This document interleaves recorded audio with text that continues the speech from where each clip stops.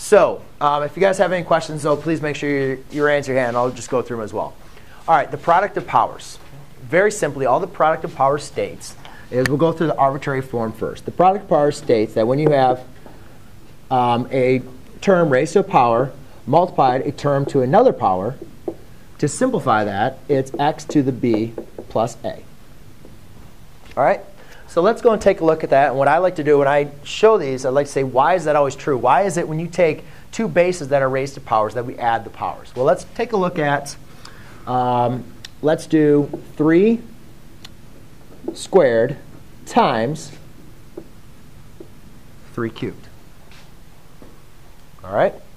Now, in reality, what this is going to be is 3 squared, we know is 9, times 3 cubed, which is 27.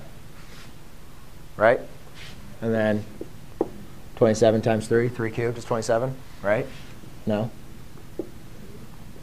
3 cubed. 3 times 3 is 9, times 3 would be 27, right? And then 18 uh, is 243, okay?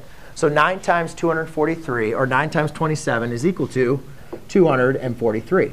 Now, if you guys want to check in your calculator, you guys can check this. Well, in reality, rather than just simplifying each one of these, we could also say that 3 squared times 3 cubed is equal to 3 to the fifth power, correct? So let's see, what is 3 to the fifth power, if anybody wants to check in their calculator? 243. 243. All right? And the last thing I want to show you guys is one other way how to explain this. Is if we look at this, 3 squared means what? 3 times 3, right? And what does 3 cubed mean? Times 3 times 3 times 3. If you guys look at it, 3 squared times 3 cubed is 3 times 3 times 3 times 3 times 3, which means when you multiply 3 by itself 5 times, that means 3 raised to what power?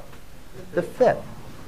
So do you guys see how when you multiply with the same base, all you're simply doing is just adding them up? Make a little sense? Kind of? Okay. So that's the power, or I'm sorry, the product of